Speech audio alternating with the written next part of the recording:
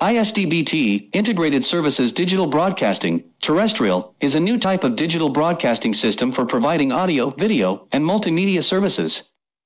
ISDBT system was standardized at the Association of Radio Industries and Businesses, ARIB, in Japan.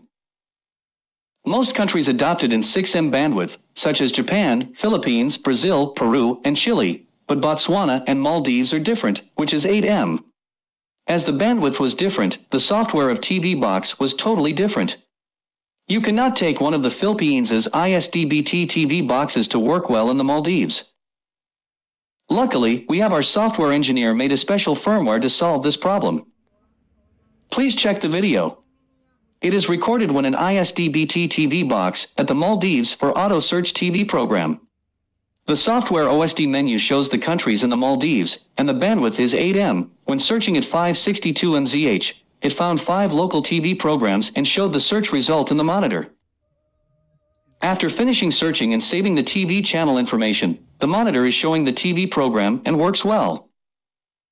Thanks for your watching. For more ISDBT software and firmware information, please subscribe to our channel.